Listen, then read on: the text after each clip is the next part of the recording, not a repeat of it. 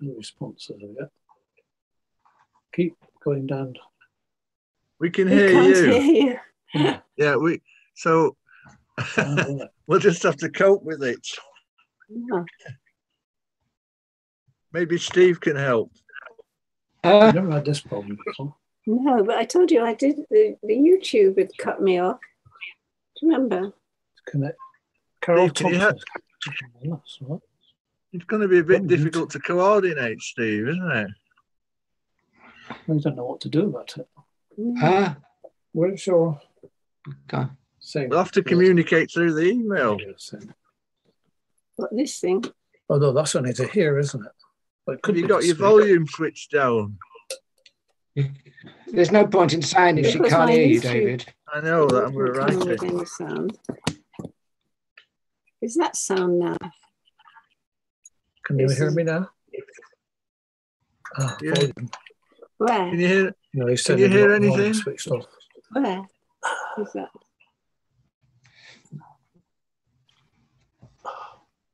You have the volume switched off. We haven't got the volume. David, she can't hear you. That's the problem. I can hear. You can. Ah, I could hear a can little hear now. sound. It's on here then. I'm Try not- that. Yeah, try that. So where's that way, isn't it? Ah, that's plugged in. You won't be able to hear it. No, say, can you hear me now? Hello. Can you hear now? Yes, can we hear can hear you. you. Can you hear us? I can hear now. Good, good. Great, great, great. That's good. That's Right, good. uh, let's start. Let's start again. While uh, uh, my name's Steve Cushion. I'm doing the technical support, as it were, and uh, the doorkeeper. Should there be any trouble, We can speak into it. Is which is which is extremely unlikely. Uh, Yeah, leave it to it. the normal procedure would be hello? Yeah the normal procedure would be that uh, uh, david greta has got who, who was to chair it has got an internet problem. So david morgan the secretary of the society will uh, uh, uh, will chair. He will then just say a few words of introduction. While the latecomers are still logging in uh, i shall say a few words about a forthcoming event that's, that the society is organising about the history of socialism in the Caribbean. Uh, for just for a couple of minutes, uh, Francis King will then say uh, a couple of words about why people should join the society, uh, and then we'll pass over to you for your talk, if that's okay. Uh, and then after that, uh, there'll be time for questions and comments. Uh, hopefully, questions that are actually pertinent rather than impertinent, but uh, uh, and and uh, uh, and then uh, after, uh, and and then we'll, we'll we'll we'll call it a day after that. If is that is that all right with you as a Yes, that's fine. as a procedure? Good. Yeah. Thank you. Uh, thanks very much. Thanks, I was- Steve. I think I'll say, I'll I'll introduce Sheila just before she talks rather than before people log on because I think that's a bit pointless for me to do it now Yeah, because yeah. it's on, we're not we're not supposed to start till two o'clock, are we? Right. So uh, I don't know how, how we're going to fill in. Maybe uh, we, we speak. Well, we can just people can just go and make a cup of tea or something. I think Sheila, you're going to speak for about forty minutes. Is that yes, right? that's yes, I Yeah. will. Yes, if you dry up, that's- if, that's you're very telepathic of you. I wasn't maybe- quite sure. Maybe you've I- seen our talks before. I don't know. Uh, uh, we did host you. We, we did host you once before, maybe about thirty years ago. I think it was at Mark's house about thirty years ago. I think, uh, and I think we met once at Bishopsgate. Did you go to Bishopsgate once yes, or I twice? have. Yes. Ah, you must have done. Everyone's Yes. been there at some stage. Yeah. I think we met there uh, maybe about 20 years ago. So, uh, but uh, yeah, I've got one of your books here from nine. This is from 1973. I'm not. I don't know why I'm telling you, but if there's That anyone was- logging in, Yeah, that was an early one. that is right. This is where, well, you were very productive in 1973. I think you had two book, two or three books out then. Uh, this is actually the edition from 73. I, I must have bought it a bit later because I was only at school then. Uh, I was only 11 at the time that was published. Uh, but anyway, it's, I've kept it in good condition. So unfortunately, I've not read your latest book yet, but I've read the uh, interviews you've done, and I read the review, and I, I read the uh, profile from uh, Verso. That's how I got in touch with you through Verso. How is the book doing? Well, it, it I It's got a don't. lot of publicity. Yes, it, it seems to be selling quite well. Fantastic. and Verso, I, I didn't know this, but they Mike buys books from Verso, and so my partner and he got it through the email, and it's on the t- Verso top ten, but I don't quite know what that means. what the other nine are. I- well, I know what the other, but I don't know what that means in terms of sales. Yeah, it's not. I don't know. It's quite uh, rivaling uh, J.K. Rowling yet, just yet. She gets all the publicity for all the wrong reasons at the moment. uh, Yeah. So uh, anyway, this is the, um, the book's about the 1970s, as far as I'm aware. I do remember some uh, some of that stuff. uh, I did so, a- uh, a long, t- well, quite a long time ago in two, 2000, a book uh, called Promise of a Dream that came Yes. out that was about the 60s. si- yes, yes, yes. And I, um, it's taken me a very long time This to is a get round follow to up. its, its sequel. So the sequel is the, the 70s and it So you- starts. The next um, one, I assume the next one's going to be the 80s, is it? Well, it is, but then after that, I'm going to stop. but I do want to, to write about the 80s because I, I worked then, um, I worked at the GLC in the 80s. Ah, yeah, yeah. Did you work with Hilary Wainwright on that? She Yes. was working there, wasn't she? yeah, John Palmer. There's quite a lot of Mike Cooley and a lot of progressive Yes. people were working at that time. yeah, I think that that that period's been forgotten now, unfortunately. I know. Well, a lot of what was done has been forgotten, and a lot of the uh, the connections that we took for granted have been forgotten too. Yeah, I, I was very disappointed when the mayoralty came back uh, with uh, when, you know when Ken was re-elected. That, that all that period seemed to have been com- largely forgotten. Yeah, became very more marketing and PR and uh, you know the kind of modern day slick politics that seems to lack substance. And Boris obviously carried on that when he became mayor, and we're still suffering from that now. I think, unfortunately. I wondered how often you have your meetings. Uh, we don't normally have one once a month, maybe sometimes two a month. Uh, used to we used to meet at Mark's house for a long time, then Conway Hall, and uh, but since the lockdown, you know, since COVID, we've not risked uh, meeting in public uh, for the last two years now. We've not seen each other. Some some of us might think that's a good thing that we, we can switch off rather than when we get bored. rather, you know, especially with our committee meetings but uh, uh, unfortunately, yeah. So, so it's uh, once or twice a month. So there's at least twelve meetings a year, I think. So sometimes maybe we did like some up to twenty. I mean, Steve Steve will tell us about his uh, series coming up in March shortly. We hopefully in February we're going to have Professor Geoff Roberts, who's got a book out about uh, Soviet Soviet Union. Uh, he's a specialist in Soviet history and uh, so but he's not confirmed the date yet i don't i don't know he knows exactly when his book's due out so but that's that's the next one in february and then in march we've got this series on the caribbean and uh, where, the other stuff's not really been firmed up yet obviously the christmas breaks intervened a little bit uh, so yeah yeah we've been go- we've been keeping it going so uh, i think membership's still continuing. We've still published. We still managed to keep publication going last year. Uh, this is a, a recent one. That's the one I did on the uh, Communist Party Historians Group. Uh, that's the only one I could find. So I was I was called in at the last moment to chair this. Otherwise, I would have had all list all the publications with me. But st- this is a copy of the journal, which comes out twice a year. I think that's that's the latest one on uh, Eleanor Marx. And uh, so uh, Francis is responsible for that. So we're quite productive, I think, for a small organisation.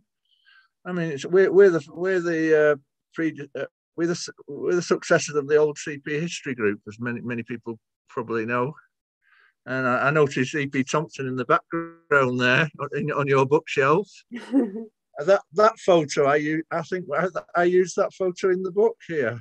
It's from a newspaper, that photo. Yes, I think I got it Yeah. from a newspaper as well. It's in it's in here somewhere. It's a very nice one of him. It, there you go. Because he was a he looked very he looked very Byronic there, I think. Because obviously he was a he was a romantic, uh, interested in the romantic movement, and he was a poet as well. Many people Mhm. don't uh, remember that he was also quite a uh, you know well good uh, well versed poet. He published a few volumes of poetry, I think. I think his last book was a volume of poetry. So I know that uh, maybe Steve uh, can come in because it's nearly two o'clock now. Maybe Steve can come in and do his bit. Oh, is Francis here? Wants to talk about the membership? It's I think three minutes to two. So we'll start about uh, we'll start on two o'clock when I do the formal introduction. How many people are online? I can't. We've got 30 people only so far. We did have 180 registered, which was pretty good going. The last, no, that's that's amazing. 180. We usually get about 50. Uh, the last big one we had was John Bellamy Foster. I think we got about 250 for that when he did his uh, uh, introduced his book on ecology, which was uh, you know that was led to quite an exciting discussion. It was very topical just before the COP, well, about about a few months before the COP conference. Anyway, Steve, do you want to say say a few words? Get, getting up to two o'clock now. No, I've, let's let's just uh, I'll just let's just wait. We'll see till We've uh, got thirty people online, so I think it's a bit we've got. 37 already. Uh, 36 now. Oh, 39 now. That's I've, good. uh, don't do a countdown. It. Please, we have. Uh, uh, normally, we get about half what the register. I've had quite a few emails from people saying uh, uh, that they now can't make it, but would like to watch a recording of Sheila's talk. Will it be okay if we record it, Sheila? yes, that's fine. It's yeah, on good. YouTube. Uh, well, no. Then I then I put it.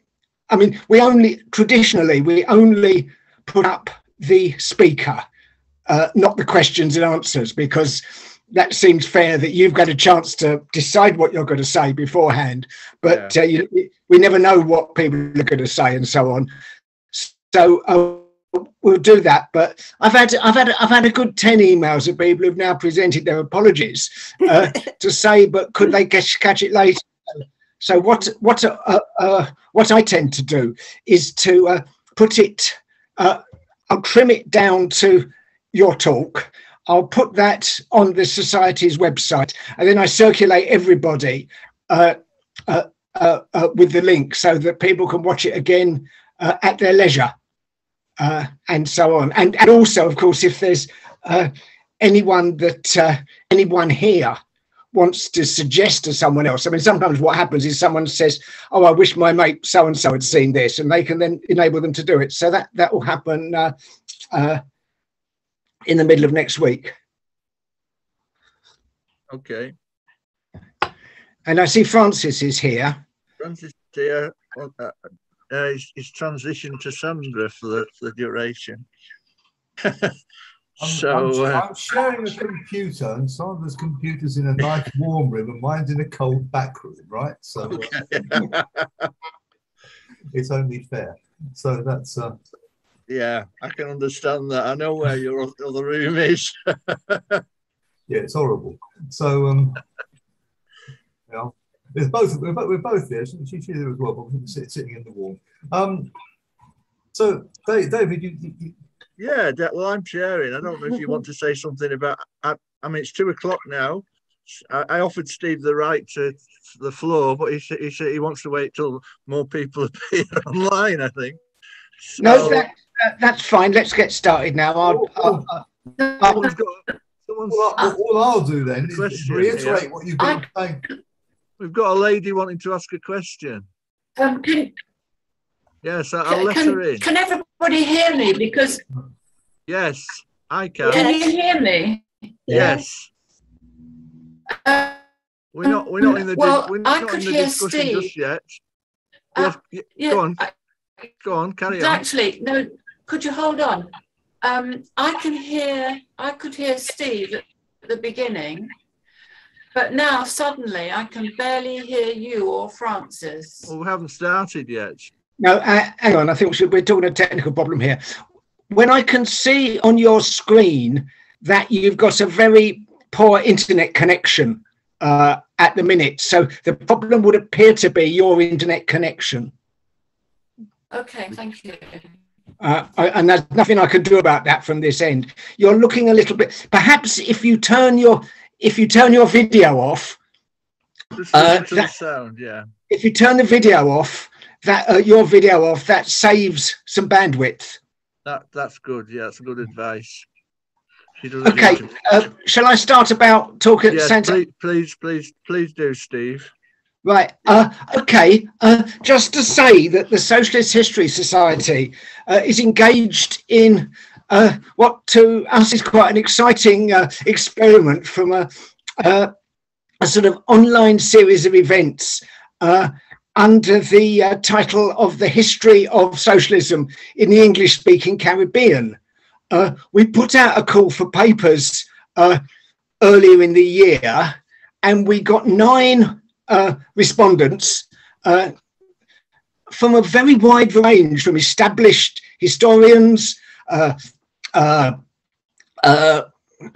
post postgraduate students, the uh, someone who runs a women's refuge in Barbados, uh, some uh, the uh, the education officer of the Trinidad uh, Oil Workers Trade Union, and so on.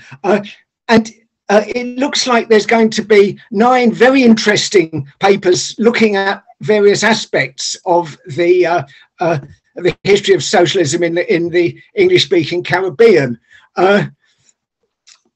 We're going to we're planning now. This will this is not set in stone yet because it depends on the availability of the participants. But we're we're proposing to hold three Wednesday evening meetings in March. Uh, the uh, I think it's the 16th is the first one, and then the next uh, the next two. Uh, and the, the format will be that we've asked the participants to provide a full paper of about 7,000 words. And then uh, uh, uh, that will be available to those who register for the meeting. And uh, then we, we, we'll ask the participants to actually speak to the paper, explain the background, add, adding to it, taking away from it, changing their mind, doing whatever they wish. So that's the format. Uh, it could be quite interesting. We're doing it in conjunction, so it's it's a joint production, as it were, between the Socialist History Society, the Society for Caribbean Studies, and the Institute for Commonwealth Studies uh, at Senate House, the University of London. So uh, uh, uh, I'll keep everyone posted through the uh, uh, the the Mailchimp, and we'll look forward to uh, some of you coming and uh, uh, uh, and participating. Thanks very much. Okay, thank thank you, Steve. That sounds very exciting. Can I pass to Francis now to mention the Social History Society? Then I'll get then we'll get onto the talk. I can see now we've got uh, 800, sorry, 80 people uh, signed in. Is that right? Uh, Cox, uh, over to that, it said 800, but uh, anyway, I'm uh, obviously always optimistic. Francis, it's over to you. Yeah, okay, just uh, hiding under my pseudonym at the moment. Um, I, I just like to draw anyone's attention who's not a member of the society to the Socialist History Society. Uh, membership in the UK costs £30 a year, and for that, you get normally two journals uh, and uh, two pamphlets um, as part of your subscription, and any other bits and pieces uh, that we publish. Uh, Yes, it's, it's easy to remember the uh, where to find us socialist history society all one word dot co dot uk you'll find on there full details of how to join anybody who isn't a member i'd strongly uh, recommend uh, why not give it a try uh, anybody who was a member last year and hasn't yet paid your subs um, i'm always happy to receive renewals Okay, so for that, thanks, thanks for attention. I shall hand over back to David. Thanks, Francis. Brief as uh, uh, and to the point. Uh, just mention that also we produce a newsletter. So if anyone's got any information about their own research, please send it to us. You can find all our contact details on our website. Right now, we're going to formally start, and I will be. I'm very proud to introduce Professor. I think Professor Sheila Rowbotham, uh, a socialist feminist historian. I. I uh, I uh, I want to describe her like that. I think that's uh, not uh, that's that's the best way to describe her. Uh, I think since her career has been spent mostly in research into history. Uh, Sheila, you may many people may not know, was one of the founders of the History Workshop movement when it was actually a movement, a grassroots movement of uh, people doing local and socialist uh, and labour research and feminist research was part of, became part of that. Uh, she's also a member, uh, elected member of the Royal Society of Art, a fellow of the Royal Society of Arts. So we're very honoured by the. she described uh, so that we're very honoured to, uh, to have her here today. Uh, she'll be talking about her latest book, uh, but she's author of many books. And I want to say she described uh, one of many of her influences have been the Communist Party historians or the socialist historians, including Dorothy and E.P. Thompson. And she described E.P. Thompson as one of, when he passed away in 19, 1993, she described him as one of the great thinkers of our time. And may I be so modest to say, I can say that of Sheila herself, because if you look at her bibliography, a publishing history, it's an amazing body of work. I have here one of her first books from 1973, uh, Women's Consciousness, Man's World. I think never been out of print. This is the Pelican edition, the original edition for 73, cost 35 pence. I think it's a bit more now, but uh, I think it's still well worth reading. And she was author of two books in 1973, the other one being Hidden from History, which is a pioneer, pioneering feminist, uh, socialist feminist history of, uh, of women in the uh, radical movement and the women's history within the broader social history. She was also co-author of several books, several landmark books, including Beyond the Fragments, 1979, uh, with uh, uh, Lynne Segal and Hilary Wainwright. She's also the author of A Century of Women, 1997. I believe the Socialist History Society did host a meeting at Mark's house on about that book in 1997, which should be in our archives somewhere. Uh, I vaguely remembered doing that. And uh, uh, Sheila cites her influences as uh, the as uh, the uh, Dorothy and E.P. Thompson. also, Beryl Smalley, who is a, a medievalist. She was also Beryl Smalley was also a member of the Communist Party history historians group. She's not very well known now. I don't think her books are now in print, but she did a she looked at the influence of the Bible in the Middle Ages, and it's it's still quite that's quite a landmark book. And uh, I, I, was quite I just found that information out uh, because I was uh, jumped uh, I came in at the last minute to chair this meeting. I, I was doing a bit of research. I was very fascinated to find that uh, piece of information. Uh, I also found out that Sheila is featured in the, the film uh, fr- from 2020 uh, called Misbehaviour about the 1970 Miss World protests in London. So uh, she's also a, a, film, well, a film star on, by second, uh, portrayed in a, a film, uh, not by Keira Knightley, but uh, by another actress. Keira Knightley starred in that film. But uh, I, I, haven't seen it, but I remember it being released. I think it was released during lockdown, so it, it never, no one got to the cinema then. Uh, but uh, that is the starting off point, I suggest, for, for her latest uh, book, which she's got to which she's going to talk about uh, now, which is about her work in the 1970s, uh, especially among workers in the 1970s. And I'll say now, I'll, I, I won't bore anyone any further. I'll pass over to Sheila. She'll talk for about 40 minutes and then take questions from people. I don't. We don't want questions while she's talking. I, I think let her let her let, let her do a bit and then, then people can ask their questions if that's if that's all right unless there's something really desperate that people want to ask and sheila wants to do that but you can make comments in the chat function but anyway i say i'll, I'll hand over to sheila now and to, to do her talk Well, at It's- last at it's last so nice to see that you've all come. Um, are you? Can you? It says, got it. Have I got to press? i think we just it? started the recording for uh, for the youtube Yes. I um actually I the, there is a person who appears and it's sort of vaguely me, but they invented me, so it's quite quite peculiar in the misbehavior. I I make a speech that they invented that was never done, but they they also because they told me that their person responsible for color said that everybody was wearing dark clothes. So they decided to put me in a rather smart sort of pink suit, which was not the kind of clothes that anyone that I knew who was around in um, feminist politics in those early days would ever be wearing. Um, so that was a bit funny.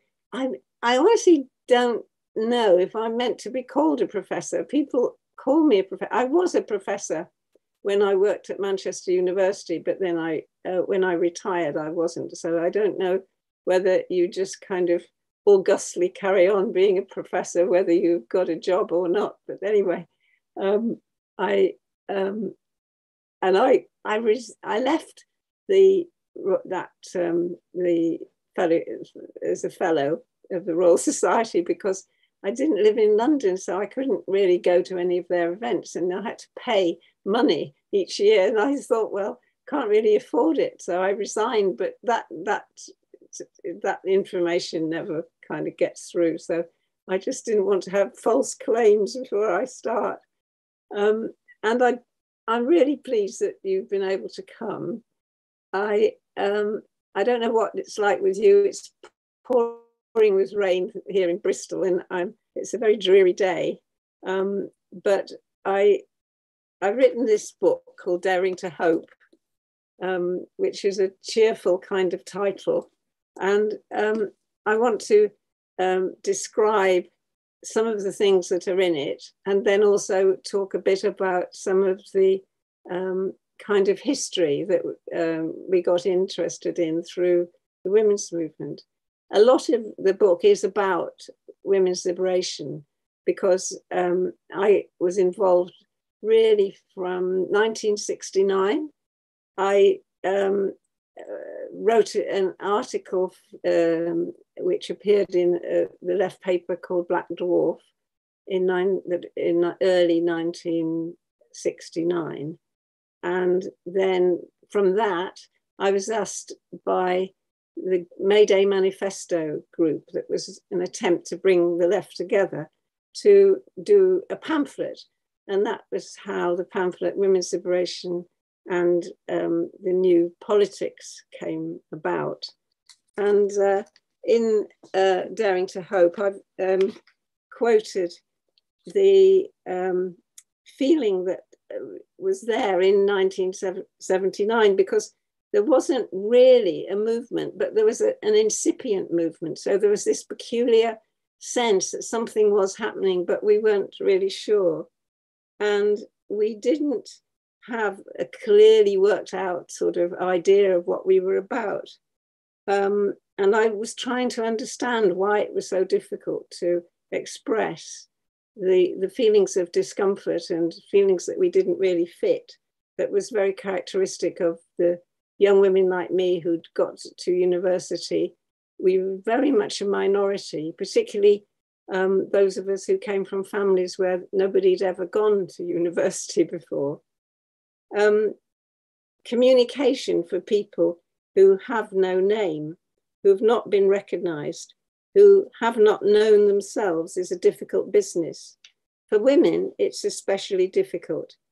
we've accepted for so long man's image of himself and ourselves and the world as his creation, we find it almost impossible to conceive of a different past or a different future.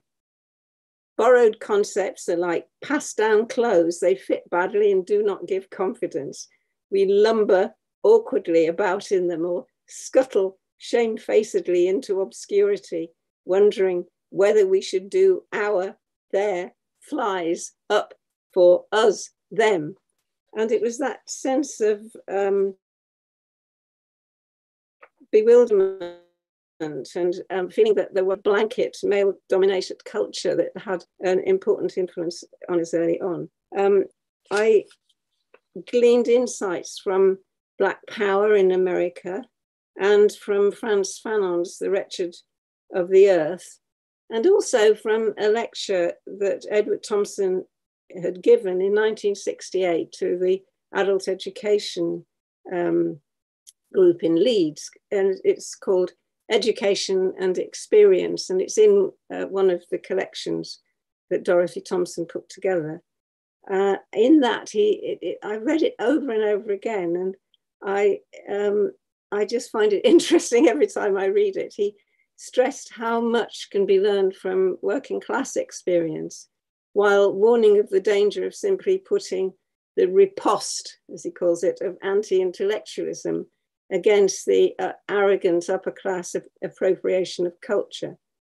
Um, it was it was very difficult to to find a language to talk about our discontents, and that was really why the small consciousness raising groups were so important um, we got the idea of the consciousness raising groups from the Americans. And if people are interesting, I interested later, I could talk a bit about what people have said were the origins of them. But they they made sense to us because we had all these um, aspects of our lives that were never seen as anything to do with politics, and it was important to try to be able to express them and go over them.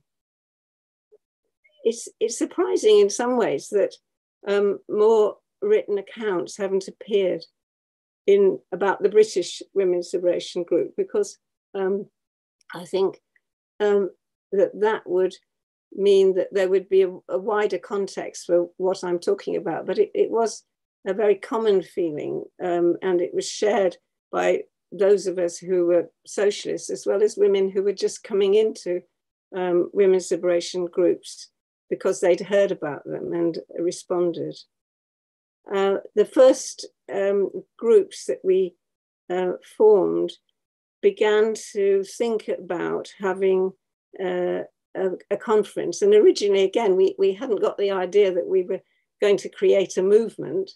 We thought um, we needed to get together on a larger scale to be able to talk together um, and we hadn't any idea of who many how, how, how many people would come and that was really how the trade union college um, ruskin came to host the women the first women's liberation conference in at the end of february in 1970 um, the two students there sally alexander and ariel avison who's um, a great loss she died in a car accident not long after that conference. She was from Switzerland and she she was uh, she had a great influence on me because she she was very conscious of the significance of a, a woman in France called Edith Thomas who had um, written a book about the women of 1848 in France and then she um, had written a book about the women in the commune, which was translated as The Women Incendiaries. And Ariel was doing a thesis on the um, a student movement that preceded the French Commune. So we we shared an interest in um, the history of those um, women, and I, that's what I spoke about at the first Women's Liberation Conference, the um, revolutionary um, participation of women in France. Um, a film is, uh, exists of the first Women's Liberation Conference, and that really brings it out because there we all are in there. We've got a lot of long scarves and a lot of old fur coats because um, granny's fur coats have sort of come into fashion. And a few people have got Afghan coats too. Um, and everybody is talking. Uh, it's uh, it really gives the excitement. There's not very many visual records of early women's liberation things, so Woman's Place is um, really valuable. And they also filmed the um, the first in, international Women's Day demonstration of women's liberation the following um, spring. Um, there was uh, that was when uh, several thousand women, supported by men, marched through the sleet and snow, through the, the West End, singing um, "Stay Young and Beautiful." If you want to be loved, and they also did a great dance that Buzz Goodbody, who was in the Communist Party and who worked at the um, for the Royal Shakespeare Company, sort of she did the choreography with them, so they they did it very well. And dancing on a demonstration has a great impact on on passers-by because they all stop and they all smile. Whereas when when you're sort of just marching along, they're kind of what's this? Um, it, it was a very visual demonstration and that at that time there were lots of ideas of bringing in all kinds of art and um, creativity into left politics so the women's liberation movement continued to do that um, the other visual record is the uh, of these very uh, this very early period is the, a lot of photographs that were taken by Sally Fraser as she was known then. She later became Shandon Fraser, but her photographs are available through the name of Sally Fraser. And they're, they're wonderful photographs. I, some are in my book, um, including one of the women's liberation uh, contingent on uh, an industrial march against the industrial relations bill in um, the early 70s. It's, uh, um, it's got a lot of people, including Raphael Samuel in the shot by chance. That Raphael, um, as many of you I'm sure know, was um, really a key figure in creating the history workshop as um, things that uh, co conferences, and he worked at Ruskin at that time.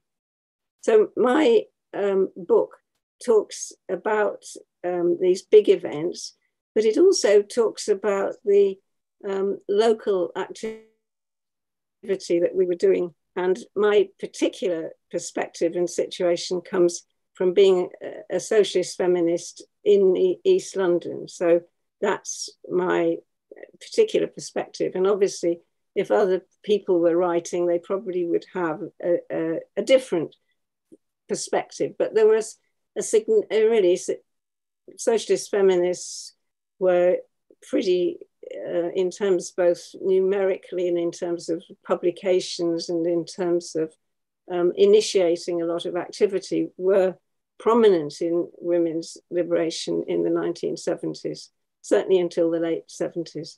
And um, I think that, that uh, the memory of that has disappeared because as it became harder and harder to talk about socialism, um, the memory of what the feminist movement was became divested in many ways of its broader connections, which was came a lot through the socialist movement and through women participating in other um, movements as well. I mean, lots of people were involved in um, movements around peace, um, movements around race. Um, specific groups were involved in issues around um, lesbian politics and um, uh, challenging the ways in which both lesbian women and homosexual men were, you know, categorized as somehow deviant. So there was um, a very strong impulse around both sexual politics, but also connected to um, wider issues about immigration and claimants, for example. So women locally were active in community groups and the kinds of things that people were campaigning for were nurseries, um, refuges for women who'd experienced domestic violence because um, there, there wasn't such, they didn't have such things before. And similarly, rape uh, crisis centres. Um, and there were also women's centres. I, I was involved in one in Essex Road. Um, it was sort of on the edge of Islington, heading towards Hackney, which is where I lived. And Essex Road uh, Women's Centre had very strong links with all the teachers in the local schools. So we used to go around and talk about women's liberation in all the local schools. And we um, also had, there was a group on about women's health and sexuality. Um, there were women connected to the Women's Centre who worked with women in prison because um, Holloway Prison was nearby. And also um, there was groups discussing lesbian and gay sexuality. So there was a really a, a lot of different kinds of activities. Um, I got involved um, with some people in the, I was in a group which was called Arsenal Women's Liberation Group, which sounds incredibly um, ferocious, but actually it just was called that because Hermione Harris, whose house was where we met, was near Arsenal Tube. So we used to meet at Hermione, so we became Arsenal Women's Liberation Group. And um, I got involved when May Hobbs asked international socialist women to um, give support to um, her campaign to unionize women cleaners. And the international socialist women asked me if I would put the message around to people in the workshop. And so people met in my bedroom. Um, our main meeting places were people's rooms and bedrooms because people didn't really have very many many rooms, so they they lived in their bedroom, and um, that May Hobbs came to talk, and that was how a, a group of us got involved with going out to try to get cleaners to join the, tra the Transport and General Workers Union. And then subsequently the Civil Service Union, because the Civil Service Union gave more support. And um, the support was very important to the cleaners because they were in such a vulnerable position as contract workers. I think a lot of trade unionists thought that was very marginal at the time because they didn't have that many women who you know, were sort of part time and um, contract workers, but the, the, there were increasing numbers of women going into the workforce in this period. And so I think that, uh, that there was a tendency to see the, the, the most vulnerable groups as, as pretty marginal. But actually, what is sobering is the ways in which the conditions the insecure and um, precarious conditions of work became wider and wider. When I mean, it's in some ways a good thing that you don't don't actually see the future all the time because it could be pretty depressing. Um, but we did um, try to organize, and we did have some gains. The problem was that the, the employers could destroy those by moving the cleaners on. If when they went to a new, sent off to a new building, um, the gains that they'd made then didn't apply. But I'm very pleased to say that there are some young people now who have been organising with um, contract cleaners and um, have been more strategic in many ways than we were about it, and I think have made um, some headway. But it was different in France because they actually didn't have that um, legal requirement. You could still um, it still counted when they when people moved from one building to another. Um, we were um, trying to not only um, meet needs, but we did want to create alternatives which would carry some kind of alternative values. And um, the nurseries that were set up, community nurseries, were really important in this. Quite quickly, there, um, there were links that were formed between the community nurseries and the general state nurseries, where the workers were also unionizing. So there was a, a, locally in many places, there could be a combination of unionized um, nursery workers and also people campaigning and being involved in the in the community um, you, nurseries that had often started as a squat but carried alternative values. I must say that the alternative values on the children's food were pretty hilarious at my, my son's nursery. They there would be one kind of cook who would say, children like um, hamburgers, so I'm going to cook hamburgers for children. And other people would say, no, no, children should be eating yogurt and cucumber and all these things. And I can remember a ferocious argument in the community nursery management. Well, it was the you know voluntary group, the management, where we went over the question of the food that the children should eat. That was in the uh, late 70s. the so it wasn't always kind of easy to create the alternative because people had different visions of, of how you should be prefiguring. Um, I became interested in thinking about um, whether there'd been people like us in the past. And the, again, the kind of history that was available was not really, um, there wasn't very much about people who were socialists and feminists. So I, I started to research um, into um, the, the obvious places to look. Like I, I, went to Amsterdam and read the papers of Sylvia Pankhurst.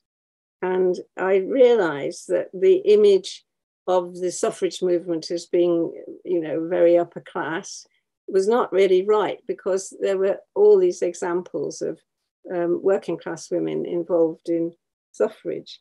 And I was teaching in a WEA class in Stanmore in North London in the mid 70s when um, a um, my class secretary said to me that uh, there was a former suffragette um, who'd been a socialist for the First World War who lived locally.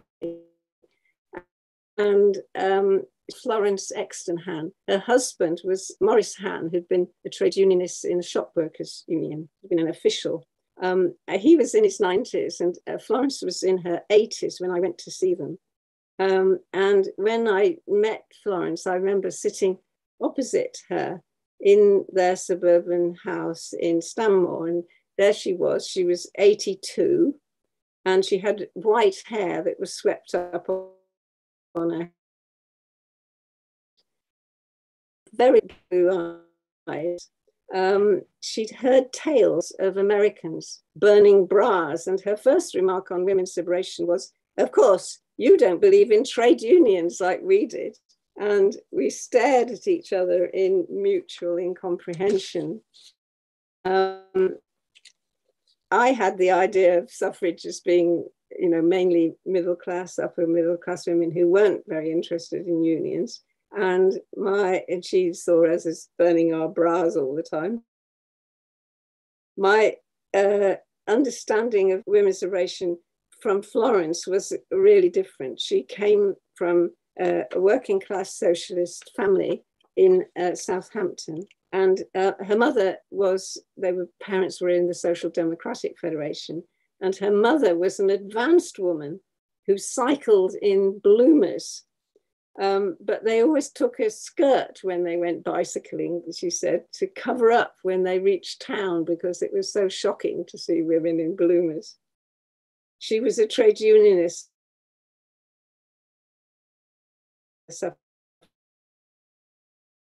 from a young age. Then after the um, suffrage movement died down as the First World War, um, she and Maurice um, kept, were part of the No Conscription Fellowship. They were organisers for the South East, opposed to the war.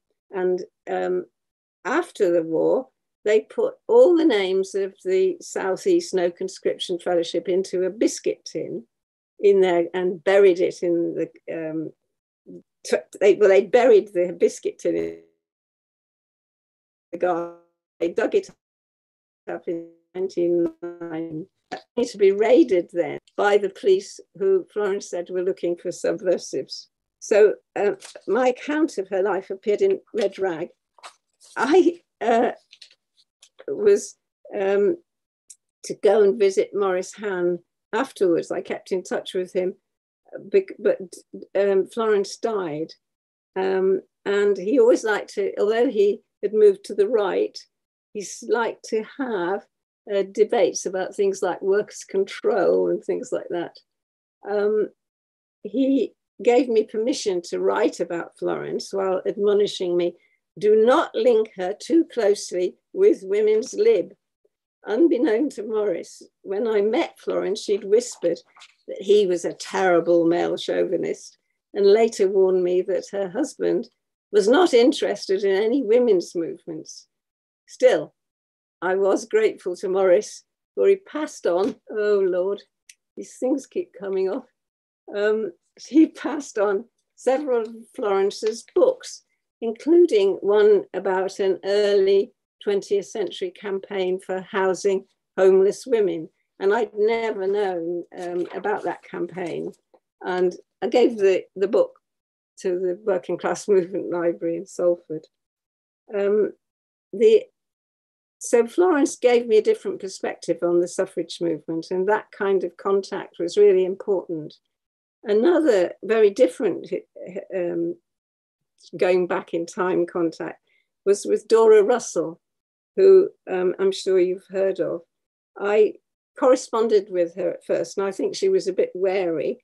And then um, we met in London, and when she came to see her son, I um, was very interested to hear about the um, work, the, the workers' birth control group that Dora had been involved in. And she made me realize that there was a much wider movement for sexual reform linked to um, the left than I'd understood.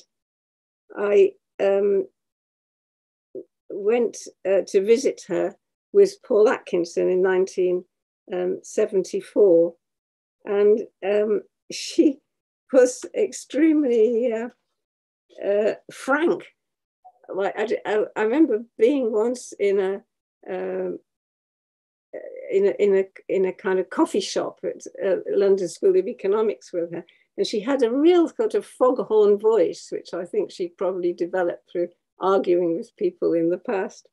And she said, um, the trouble with men is they just don't understand women's orgasms, at which point the whole place just completely stopped and froze and gazed at us in complete sort of bewilderment and horror. and I was, I was rather embarrassed, but Dora didn't bat an eyelid.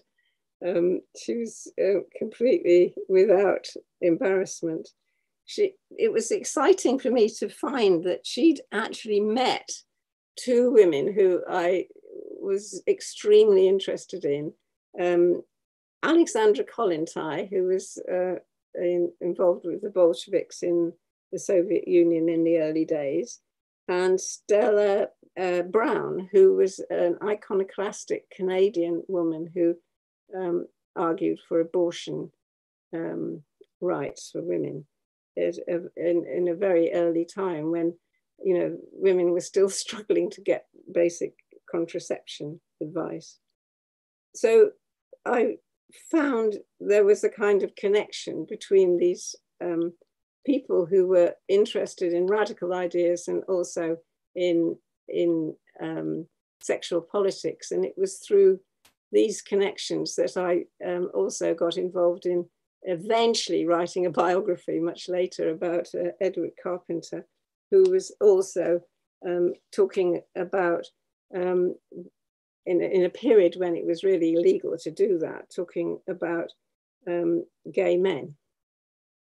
So quite a, a few of these early um, origins of interest in women's history, which people like me and Sally Alexander, who I mentioned as one of the people who were studying at Ruskin and uh, organized the first conference, and Anna Davin, who um, wrote about women's history in the early days. Uh, I think both sides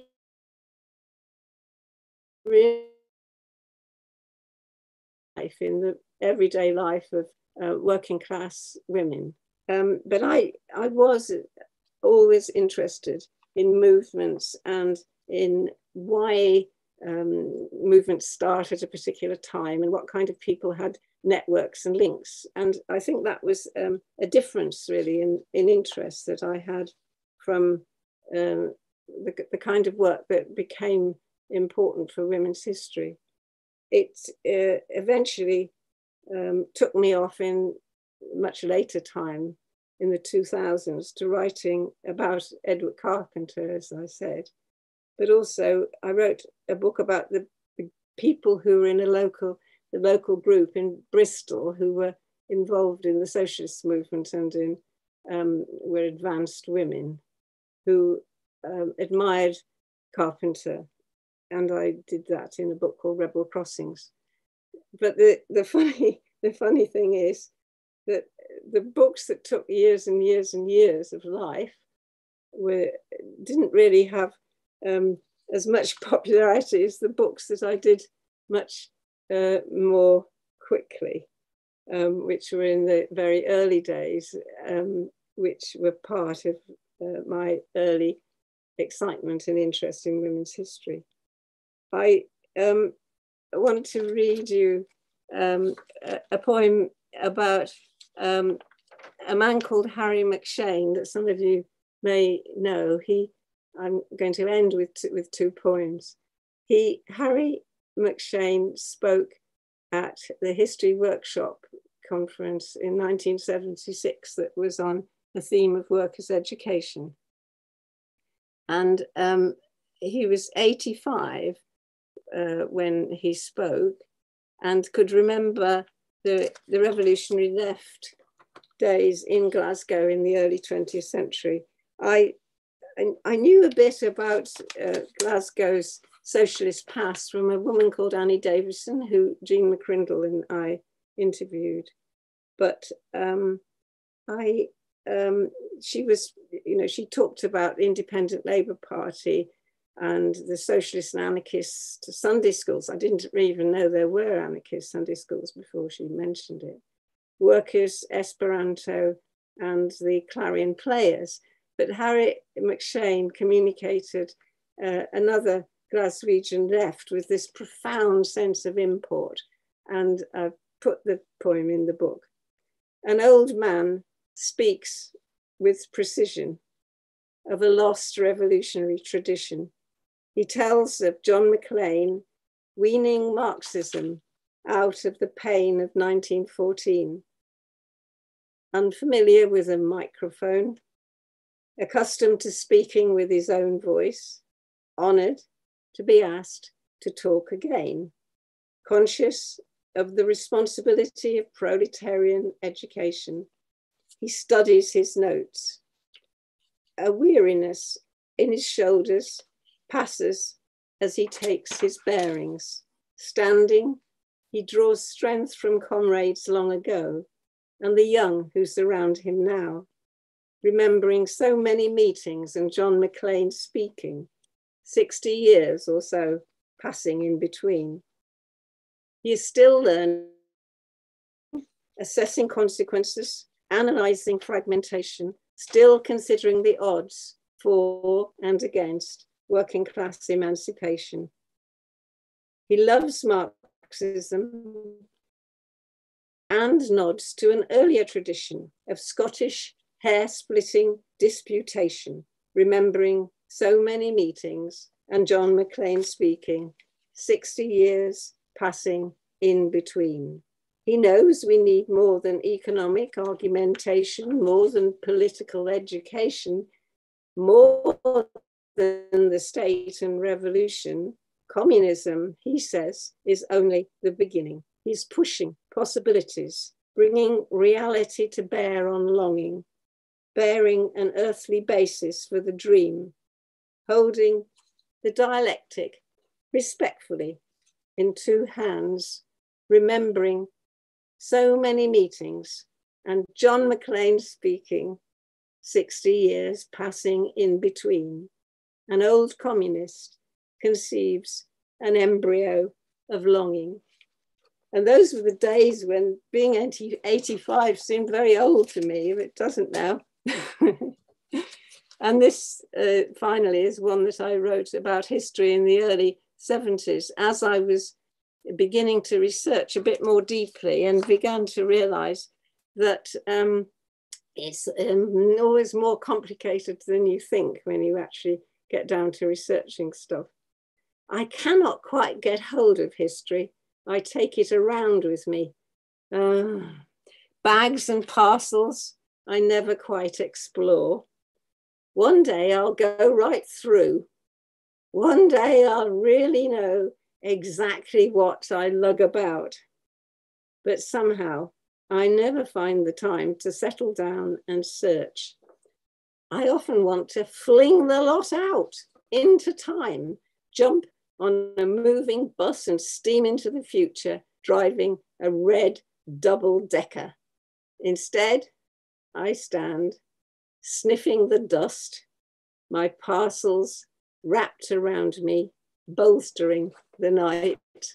And now I must say, I kind of think, ah, time is passing and I have an awful lot of books and the decision about which to get rid of is terrible. Oh, and, that's uh, terrible. I don't know what to do about that.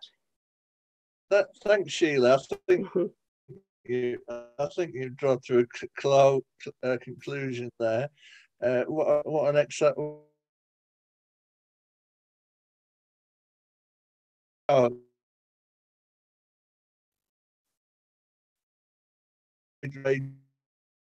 Going, it seems to be going on and off. I, can you hear me? It's okay, I hit me in. can now, yes, yes. My link, my link seems to be cutting out. Unfortunately, I don't know if I, I, I might have not, might not have paid this month's bill. I'm joking, but it's getting a bit. So let's. Uh, I, was, I was saying there's quite a few questions. I can hear. in the, there's quite a few questions in the chat. So I'll hand over to. I- I've got a list here. Steve, you're not first. Uh, uh, Tara, if you're still there. I've Hi. got Tara, Keith, Sarah, and Steve. Tara, are you Tara? Hi, yeah, I'm here. Yeah, thank you very the- much, David. The yeah, floor is yours. Thank you. Thank you, Sheila, for really, um, I've got your book here actually there. And um, I'm just starting, so I, I haven't read it yet. But thank you for all your contributions over the years and, and today. It's really exciting to hear you.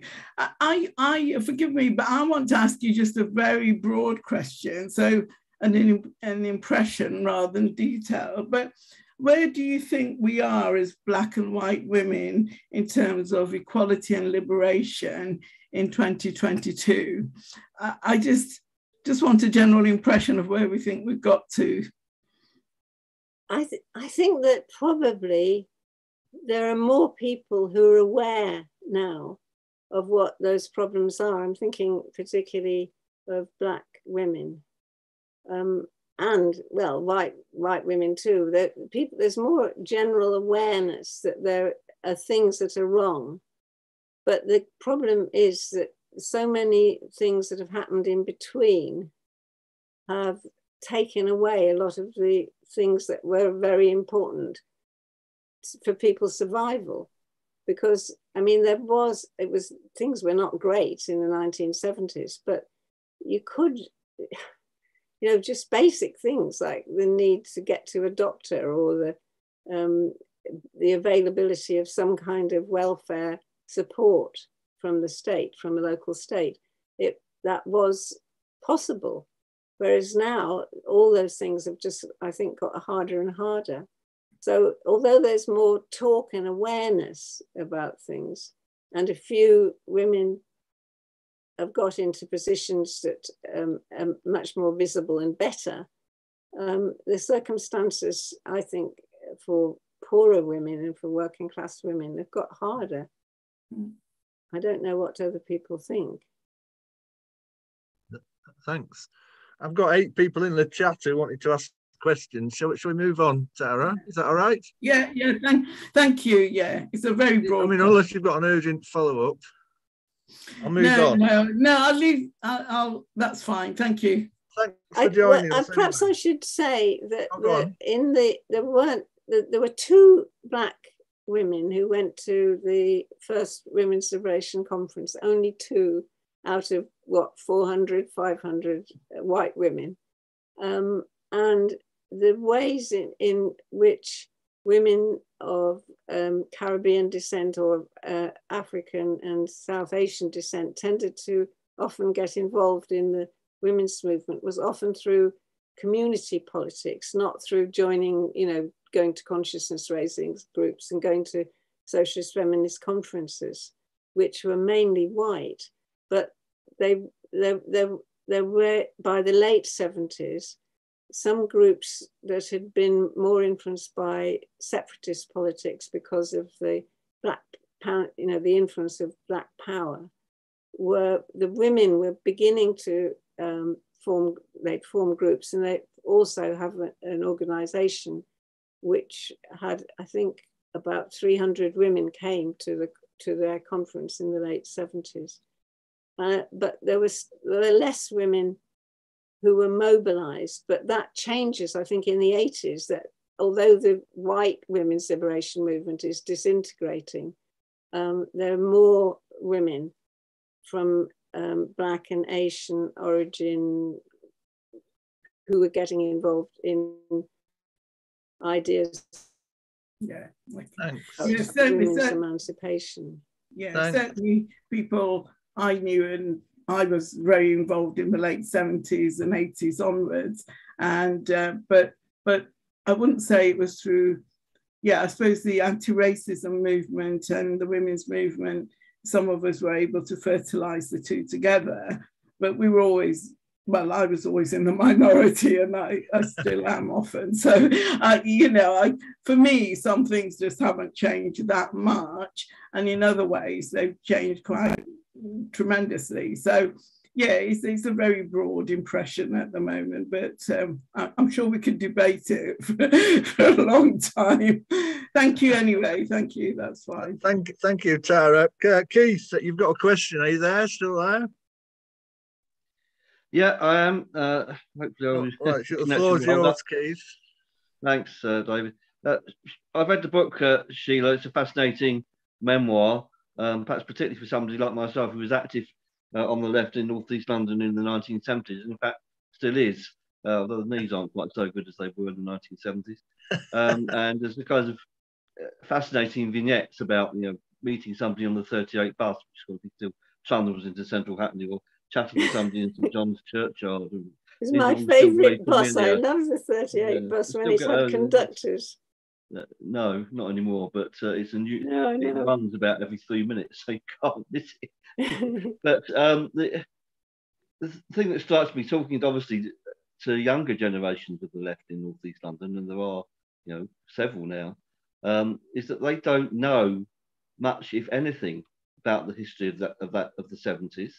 Um, many of the struggles that go on now are obviously some battles won, some lost, but, but not everything is the same by any means. Obviously, some some stuff has made progress, some has gone back, as you said.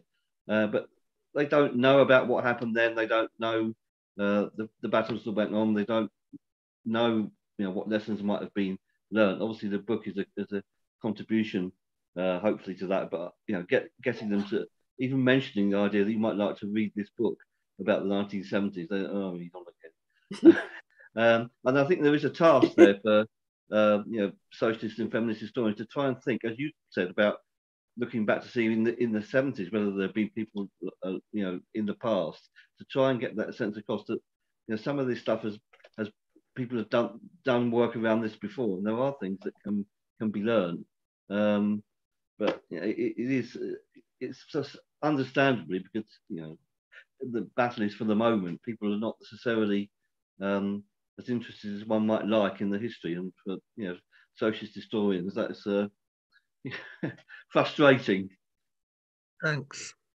Do you, do you want to uh, comment Well, on that, Sheila? I have I have come across um, some young women who are researching um, women women's liberation, um, and um, I I don't know about the socialist movement, but they they um, I mean one of them actually did a review in in Tribune of my book, and uh, it's it's really great to to be in contact with them because because I'm you know haven't been teaching for a long time. I I have contact with uh, my my grandson who's seven and my son who's in his forties, but I lack people in their twenties. So it's very nice to have contact with people in their twenties.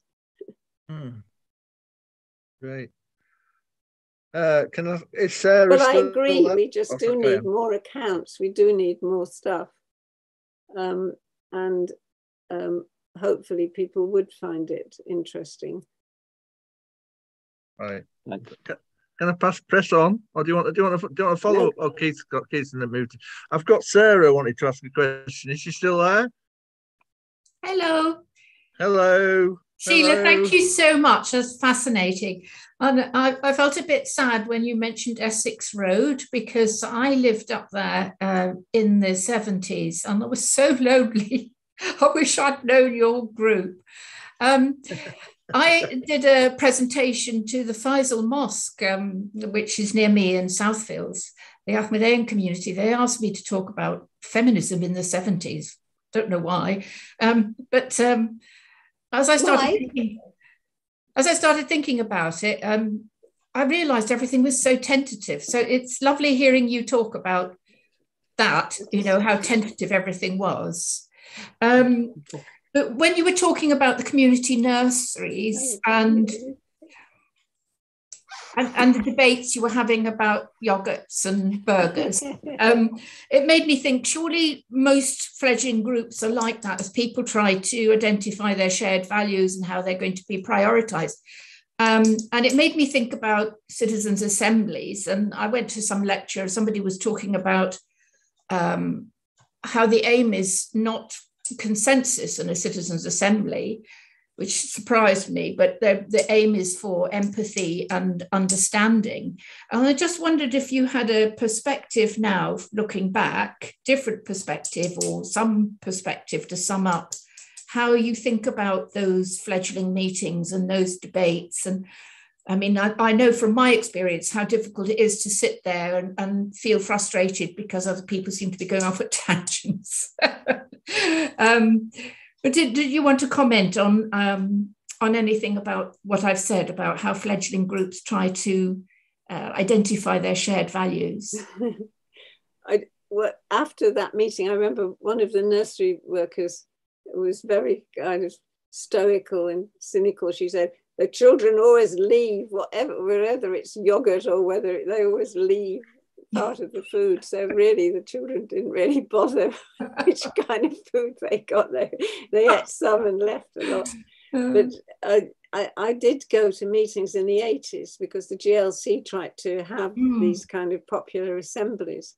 And there were recognizable conflicts because the, the, the we lot from the GLC wanted to have um, things like, you know, better housing locally and things like that. And I remember a group of women angrily demanding that there should be more office blocks so that there would be more office work because they did office work and and this was you know having more office skyscrapers in hackney was not really what, what we were thinking of. So it was like that but we did what we did find was that it was no good if we got some idea of what would be a good project and then tried to plonk it on people. Mm, it mm, never worked. So it had to be something that came out of mm. what people wanted. And then by working with people, which Hilary Wainwright did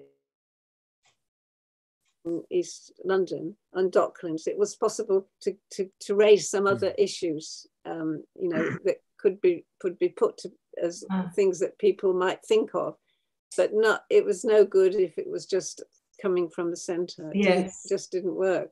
Yes. So I think that that, that participation has to we keep losing you, Sheila. process. We keep losing the odd word. Yes. Yeah, there's an internet connection problem here. Uh, pro- pro- probably, pro- shall I we? don't shall- know whether my earphones, uh, whether the I think it's the connection. right. Oh, it's a bit late now. You've been on there now. Oh, it's been it's been okay. It's been okay till now. I, Yeah. I, I mean, uh, I think it's the connection, not the not the earphones. Can I move on because I've got I've got about five more people to ask Um, can I just I'll- add? I- So- yeah, sorry, go on, go on. Quickly, so that makes sense then from what you're saying about aiming for understanding and empathy. That because while you're doing that, then shared shared ideas or sh- an idea of a shared project which would contain those shared values might emerge. I think I think that's I think that's probably a, a common experience that a lot of people have had from Yeah. doing work. What's happening now? Thank you. Gone. Thank you, thank you, Sarah. Bye. Happy New Year. Uh, Steve, Steve, can you uh, ask your question if you're still there? Hello. Uh, yes. Uh, I. Uh, it's interesting you mentioned the number 38 bus because I I used to drive the number 38 when I worked in, in the late 70s when I worked at uh, Leyton Bus Garage. And uh, I remember at, at that time there was a strike at, a, at the Trico factory. I can't even remember what they the made, book. but but but we had uh, Uh, uh, we had a uh, a collection. I mean, uh, we had a collection on a Friday in, in in the union room, like we like we always did when there was a strike. And I was sent to take it over because I had a motorbike, uh, and uh, it was interesting when I got there. I was given uh, this badge that I've still got, uh, uh, a, a woman's right to work, and but uh, uh, I was given a long. Uh, a long talk about the importance of the Working Women's Charter, and I was sent back to the bus garage to to move that the that the T&G branch in the bus garage supported the Working Women's Charter. So, I mean, resolutionary socialism. We passed it. We sent it off to the Trades Council. That was kind of that. But uh, I wonder uh, if you'd like to say something about the importance of the Working Women's Charter Yes, it came. the kind of movement around it. Thank you. it it it arose in the in the mid 70s and it came uh, from an initiative in the um, from that was women who were uh, linked in with the trades councils and um, they were able to put a whole lot of um, issues and demands which I think subsequently did get through into unions through local branches again with women um, raising those, which then became quite significant in the, in the 1980s, because women in the trade unions were taking those issues up.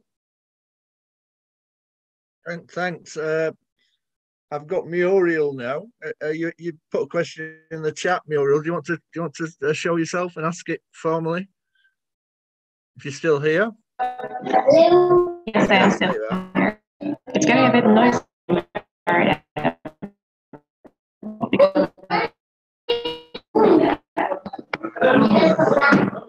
Is the sound okay?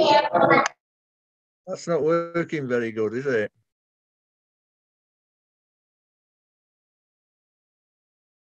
Has that gone off? Who's who's online? Can can Sheila? Can you still hear me, Sheila? I think that was feedback. You've got some other uh, device open. Yeah. Well, you have, Sarah. No, I'm shutting up. I know that that was helpful, but I think I don't know if Muriel's uh, can can ask the question, or maybe I'll read it out. I hope you can hear me now. Yeah, I can hear it. Can everyone else shut off, please? I think it's the noises in the cafe I'm at. Yeah, that's probably what it is. So if it's better, you can ask a question, otherwise I I can try. I think that's a bit difficult, uh, Muriel. It, it seems it sounds it sounds like there's someone else speaking in the background. I don't think we can take. I, think it's going to be difficult to take that. I, I can read it out. Can can can, can uh, Sheila hear me?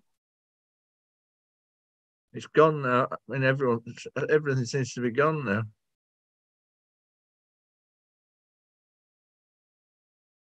I don't know if She- Sheila's still there.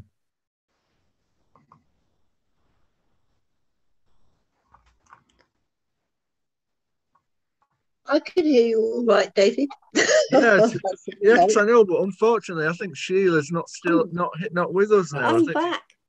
I'm Oh, there you are. There you are. I think we had a problem with Muriel's connection. Uh, she's asked me to read out the question on her behalf. Let me find it because it's quite a lot in the. Um, in, I've got it.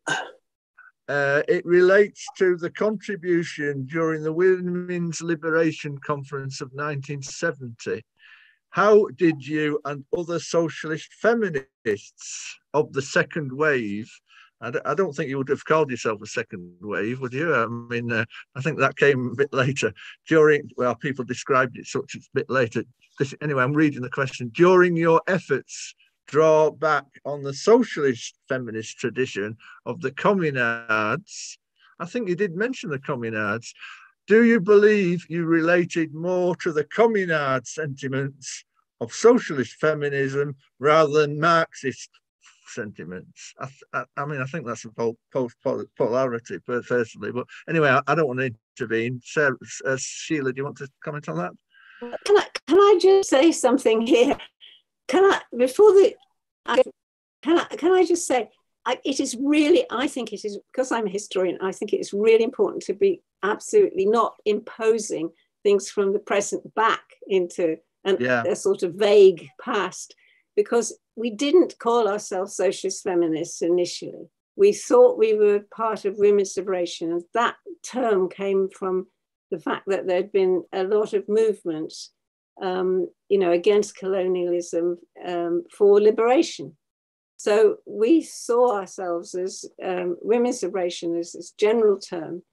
And at the same time, many of the ones who initiated it happened to have also been socialists.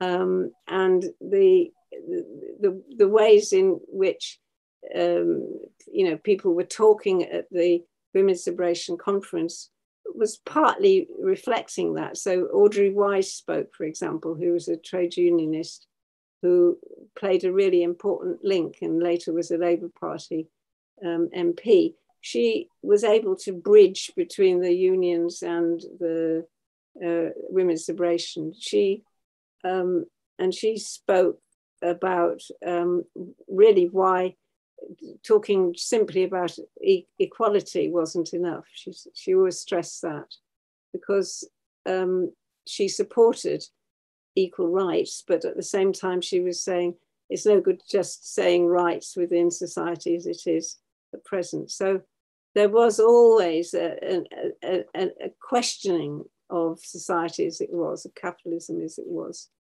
But um, we, we just didn't say we were socialist feminists until um, I mean it's quite interesting when it when it sort of begins to emerge. It's really about 73 that we're beginning to call ourselves socialist feminists. Though I, I discovered that people like Dora Russell in the 1920s, unbeknown to us, had called themselves socialist feminists. So there was a history. Um, and um, I spoke about women in the commune because I was amazed when I started to read the journals of 1848 women and also the kinds of things that women who participated in um, the upsurge of the commune were saying was that many of the ill-defined things that we were talking about, about power relations between men and women within the left, were actually being talked about in that uh, that earlier time. In the, even you know in the in the the magazines that women produced. 1848 Reverend France, they, they were talking personally um, and they felt, which was just not the kind of thing that people did in um, when I I used to be in the Labour Party Young Socialists for ages in the 60s, and nobody ever talked about their personal feelings about anything in our meetings. It was completely taboo. Um, everyone talked about those things in the pub afterwards, but it was never seen as anything to do with politics. But in, in the past, it had been more. And so that was really interesting to me. But um, so, I mean, it may sound like nitpicking, but I, I, I do think it's important to kind of to to sh to show how the terms meant different different things, and sometimes we didn't have those terms. Uh, we certainly didn't have the term of being a socialist feminist in um, 1970.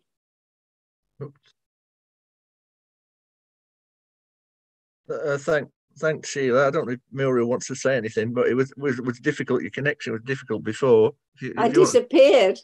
Oh, you disappeared. I think Muriel had a trouble with the connection as well. I mean, she's still there. Do you want to, do you want to uh, respond, Muriel, or not? Well, I want to try, but I'm at the university cafe, so it's very loud.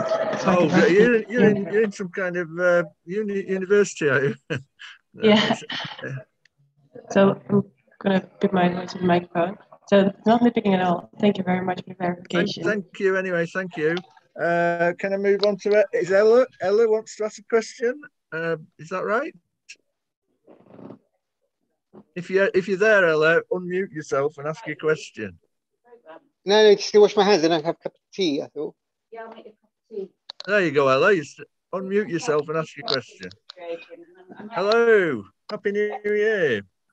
The, the what situation? Sorry, someone's unmuted himself and has not been called. I asked Ella to ask the question, her question. No.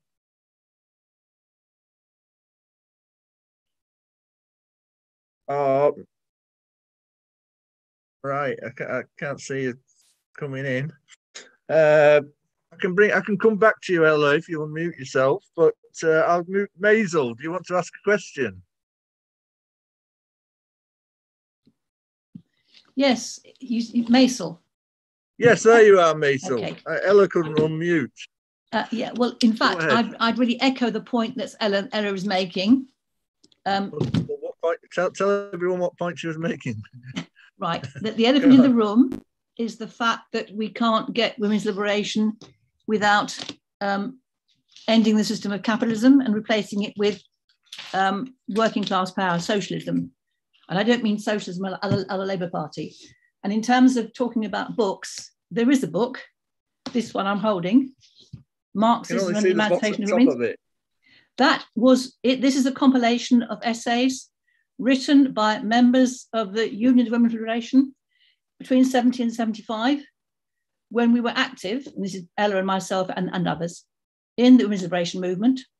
And it deals with the analysis of why women are oppressed, suggestion or the, the, the Marxist um, solutions to how you, how you overcome the oppression, but also dealing with the day-to-day events throughout that period of 70 to 75 in the women's liberation movement. All the forces, all the, all the meetings, and all the arguments that were put forward, as well as looking at the history of women in the socialist countries and how, when socialism actually implemented, women do achieve liberation.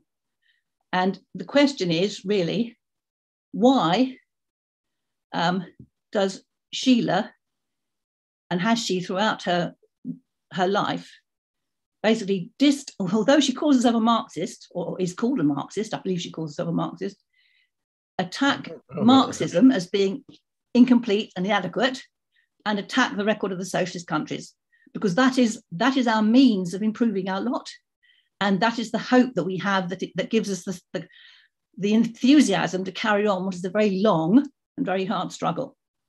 Okay, this thank is, you. This is the book. If you want a history of Well, the we women's can't- we- liberation movement, this is the book. Actually, we given can to all, we, we can't see the book. Hold You it can't up. see the book. Marxism and the Eman- Emancipation of Women, Right, okay. That, that, that title's quite published by. Lalkar, L-A-L-K-A-R. Okay, thank you, Maisel. Uh, great. Uh, pass you on to Sheila. Do you want to respond to that? Yeah, well, yes. Well, Diane Langford also wrote uh, from a, a different kind of Maoist perspective. She did write a, a very interesting thing online, actually, which is about her um, memories of both her left politics and her involvement in uh, the women's movement. So that's also something that people could read. I mean, I have to say that there were very many more socialist feminists who were critical of um, the position that Meisel represented then than there were members of the organization, which was rather a small group within women's liberation. And That's not, um, that's not, that's not denied. Not not the question of size, it's the question of value, isn't it? Oh, right. Yes. There were a lot of Well, feminists, and all the I- feminists talked about sexual liberation, which is not the point, which is not I the way, it's a, it's a big diversion. Uh, thank you. Well, it's a very good thing that there are different accounts, and the more the better, is all I can say. Exactly. Um, I have to say that as I think it was when Diane Langford was saying at the Women's Liberation Conference how bad it was to sit around looking, con- contemplating our vaginas, that I roared with laughter, and there is a photograph of me laughing at this because I do think that sexuality is an incredibly important aspect of human um, existence and of human pleasure and delight, and that it is also part of our um, aspiration to have some changes in relation to sexual politics, as quite often now many um, reactionary regimes are really landing on sexual issues which might have been seen by some Marxists in the past as not that relevant. Okay, let's let's move on.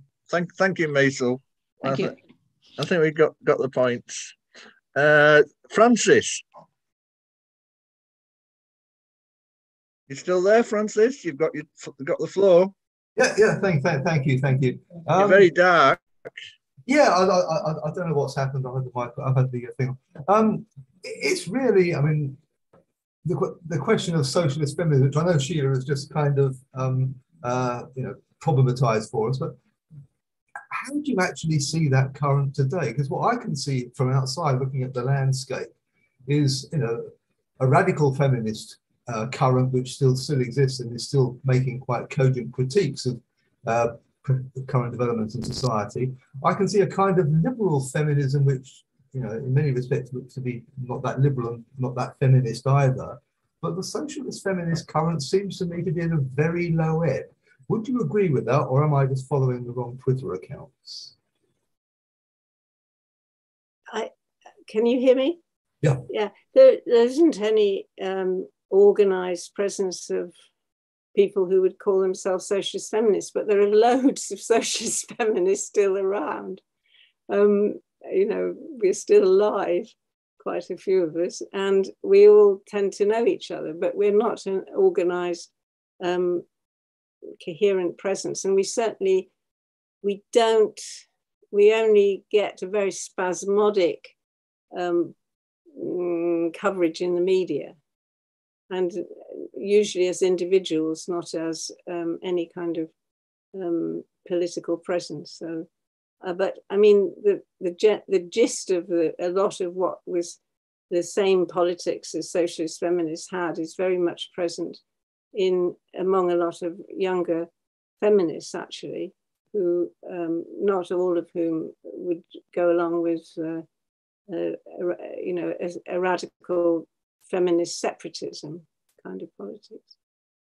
So uh, the, the the gist of it is, I mean, I think that so has passed out of the general kind of media discourse because people hardly ever talk about socialists or socialism very much um, in the media anymore. I mean, they might talk about some kind of general radicalism, but not very much about socialism or even about Marxism, actually. either. Thank you. Uh, Talat, you still there?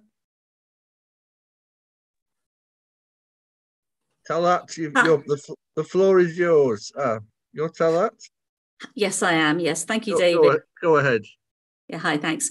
Um, thank you, Sheila. Um, I'm really enjoying your talk and the conversation. Um, and I also have a copy of your book. I haven't read it page to page yet, but I have dipped into it.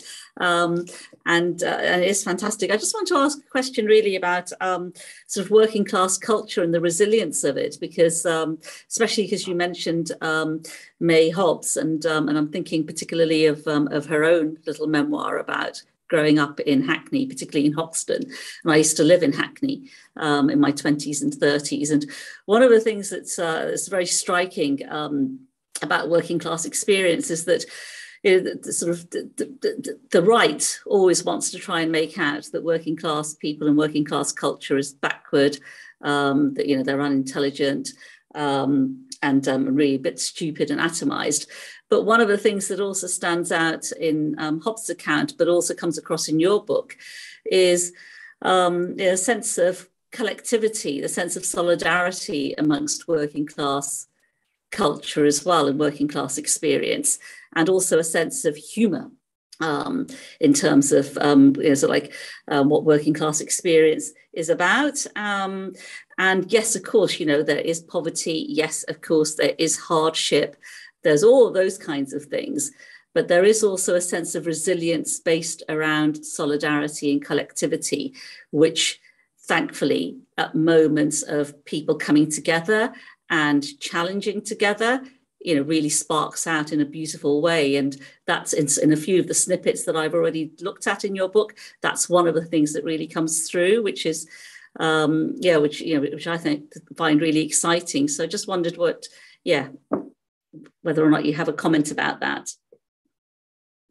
Well, I think one one example of that uh, tenacity still going on is the campaign um, uh, around the whole issue of the Sh- Shrewsbury building workers, who were um, successfully vindicated after all these years, and that group uh, has carried on, um, struggling, you know, to make get to clear their name after all, all that time. So that that's certainly true. I, I I I don't know. I'm not. What I don't know is how what young people, young working class people's responses are to what's happening in, in politics now. I, I really don't know, and perhaps other people would have a better, some better, some better idea, because um, Mike, Mike and I often notice when uh, we go to meetings that people are definitely um, older. But we we did go to to one uh, meeting with uh, which which because I got asked to talk, which everybody was in their twenties, and that was Bristol uh, Transformed meeting, and um, they. I think it was quite strange because they were all in their 20s and then a whole gang of people in their 70s appeared who uh, and then they invited us to the pub. pub. Yes, we went to the pub. so that was quite funny. I think that the, the young women found it easier actually to talk to us than the young men because um, I, I don't know, they, they, they tended to stay in a kind of clump, but the young women came and talk to the elders more. The men were a bit more traditional, I think. Thank you. Uh, Sh- Sheila, I've got a couple more questions. So, so, some are quite similar on similar themes, but uh, I'll get the two people. Just one person previously asked if you have published any poetry. Um, so I'll no, ask that well, now. Uh, there's been, I did a, a, book called Dreams and Dilemmas, and there's some in there. Um, Uh-huh. for, that was a long time ago. Virago, And yeah, One or that. two, yeah, one or two got put into other things, but uh, no, I nearly got into an anthology. Nearly. vainly, rather vainly, would say I was rather chuffed about, but I, I was taken out because it was too the, the anthology was too long and they had to take. Oh well, maybe you should bring them all. To, maybe you should bring, collect them all together and put them in a, a, a volume. Oh, That's a- well, my, you- my mother had a, a saying that she always said, which was from a song, which was, I took my harp to a party and no one asked me to play. So I read them to you instead. Oh, I don't know if that's true. I mean, get get a book of poetry out. Uh, I'm, I'm also part of a, his, a poetry group as well as well as history, so so I can sympathise people who write poetry on the quiet and don't get it published. Uh, but uh, you know, I've had a few published, uh, one or two, but. Uh, you know, I do recommend you to carry on with that. It's it's, it's a therapy as well, isn't it? Uh, no, anyway, now can I move on to Sophie, who wants to ask a question? Sophie uh, Scott's. Uh, some some I've, I've forgotten the whole name, but anyway, Sophie, you're still there. Log in and answer. Hello, thanks, David. Uh, Hello. Sheila, thank you um, so much for that talk. That was really interesting. Um, I um, I aspire to call myself a historian of the first New Left in the History Workshop and Raphael Samuel. Um, and I found Promise of a Dream incredibly useful whilst I was initially researching all this. So thank you very much for that. And I know I'm going to love um, Daring to Hope. I'm looking forward to, to reading it properly soon. So I just have a sort of quick question. Um, and it's sort of, you mentioned a few of uh, some very, very familiar, well-known names to us all, and, uh, um, and especially to me, uh, Raphael Samuel, Stuart Hall, and E.P. Thompson, of course, this sort of puts me in mind of that first New Left group that sort of came through initially in 56, 57, and, um, and sort of clustered around the uh, the New Reasoner, the University's Left Review, and ultimately the New Left Review. And I was sort of wondering whether you thought that there was any kind of through running threads there or any connections with that particular that first New Left moment. And I know it's sort of a bit ridiculous to speak of that because it wasn't uh, coherent or agreed in any particular form. I suppose I'm thinking whether there were some sort of shared sets of questions or problems particularly around this idea of um, of difference, of fragmentation, of how you kind of cooperate amongst different factions, of what you do with uh, culture, but particularly, I suppose, with this idea of activism and direct action rooted in community organizing being possibly a way to structure a kind of new political sensibility, something like that. Anyway, um, thank you very much. Thank you. That's Sheila. Well, I I think uh, I think that uh, I mean I, I in age I, I kind of was a bit of a sort of interim person because um, I was younger than the old new left of the ones who were in their 40s. I was in 19 when I met Dorothy and Edward, and they would be in I think their late 30s or early 40s then um, and it- they just seem to have seen so much, you know, because that I realise now that, that it was the generation that had gone through the war, which my generation were beli- rather we tended to rather dismiss what that experience had been because we we just wanted to kind of move on, but I real I realize I've been really realizing as I've got older what a, an enormous thing that was, but it it felt at the time that they'd they were so much more grown up than, than we were because they'd just gone through su- such extreme experiences. Um, but I think that the I, the ideas of what became kind of you know do it yourself action, um, I think quite the, the, meeting would have been um, Committee of 100 and the CND, which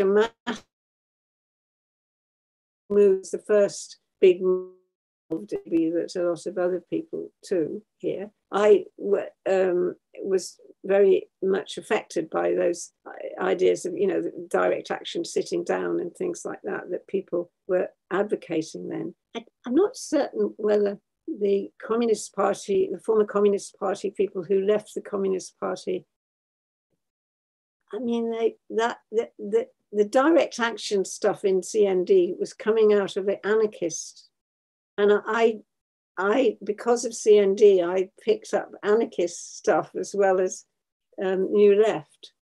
Um, I think the, the people who'd been in the CP, they were they were more strategic and thoughtful and wary about sort of confronting the state head on. Um, because they had gone through that sort of Cold War time when, although it was much less in Britain, um, it had affected a lot of people. And a, a lot of people had, be, had realized that, you know, they couldn't carry on working and things like that. Um, I mean, Christopher Hill's wife, Bridget Hill, lost her job because of that that kind of uh, pre- that kind of prejudice. So I think, I mean, it wasn't as extreme as the states where you really couldn't call yourself a socialist. So the, the, when the new left appeared in America, they tended to talk about being radical, which completely mystified French socialists friends of mine who said, Why are you always going on about radical in women's consciousness, man's world? Because in France, that means that you're anti socialist. So the, the, the, the, terms have different, slightly different meanings. And it, it's quite, it's, it's, you have to say what the terms mean, don't you, really? Um, in, in order to, to understand why there, there, there would be different reactions and I mm. wandered off from the question.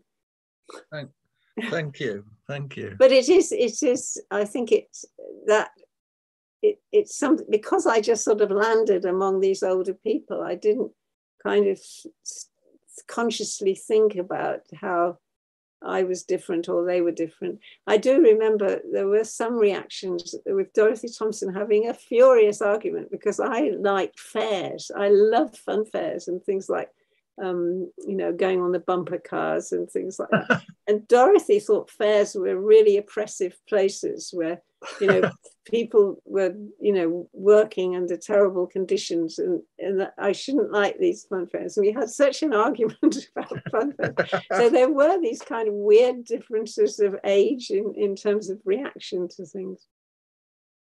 Yeah, that's that's part that's part of the contradiction. I've just I've just picked this book off my shelf papers from the women's liberation movement 1972 to 74 and there's an interest talking about contradictions there's an interesting chapter with a, a title I quite like the patter of tiny contradictions which i don't know if people can get hold of that. I don't see your name in here sheila but there's other people like beatrix campbell elizabeth wilson uh, and it was published in leeds. So uh, I'm, I'm, sure you've got a copy. Michelene Wandor and oakley Lee Comer. Uh, various Lee other Comer. Yes, that's right. Lee, Lee, Comer. Comer. is one of the socialist feminists who's still around. Is she? Where is she? Yeah. She, she lives in London now. Okay, I don't, I don't think I know her, but she, she, and she, there put... are there are groups. There's a group called Howl, which uh, uh, Sue O'Sullivan uh, is involved in. And she put this book together. Howl is history of women's liberation and so there, there, there are some uh, groups and networks that still exist, women's liberation networks. But we're kind of invisible. So hopefully. Um, hopefully, after today, not so invisible. uh, anyway, thank you. Uh, there's one more question. Mehmet, can you come in? Where is he? Is he still there? It's it's actually Hillary. That, that that's Mehmet, and both of us oh, have been typing. sorry, sorry. Anyway, we've got you. We've got you. So th- th- some of some of the points. Are... it's really nice to see you. I haven't seen you for a very long time. I also spotted. Um, I spotted other people that I haven't seen for a long time, including Logie. Ah, yes. Um, so and John so, Charlton. Yeah, so so Mehmet Ali has been typing one or two comments in, but I had a question, Sheila, about um, there were a couple of things that struck me. One, you said that you were influenced by the American writers within the Black Power movement. Um, and then this discussion about the, you know, whether we remember socialist feminism of the 1970s. And um, it occurs to me, and it's, it's occurred to me a couple of times, that the publishing industry has been quite dominated with um, by, by American feminism. And of course, white American feminism tended to be a campus movement um, and a middle class movement, and didn't come out of out of um, socialist thinking in the way that it did in the UK. Unlike, of course, um, black feminism in, in, in the US, which which did come out of a different, excuse me, a different kind of politics and a different a different place. Um, and at the same time, there's been a lack of translation of other um, very uh, other feminist movements that were very much informed by feminism, particularly the Italian feminists. Sorry, uh, uh, informed by, by Marxist thinking and socialist thinking, like the Italian feminists. So I wonder if part of the problem is um, of that forgetting of socialist feminist history is partly to do with, with the publishing industry and publishing opportunities.